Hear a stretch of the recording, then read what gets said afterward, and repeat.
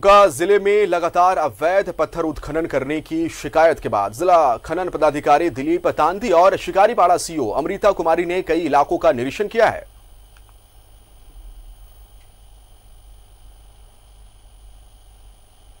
अवैध खदान लोग हैं सर यहाँ। जो सूचना मिली है अभी सात आठ के सत्यापन करने पर देख रहे हैं कि वहाँ खदान है लेकिन काम नहीं चल रहा है। इस पर निगरानी रखी जाएगी।